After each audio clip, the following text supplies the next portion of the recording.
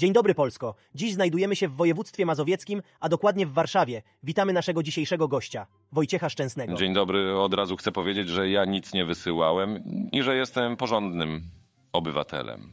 Dobrze, Wojtek, to może o Twojej aktywności i działalności w sieci porozmawiamy sobie kiedy indziej, a dziś skupimy się na innych sprawach.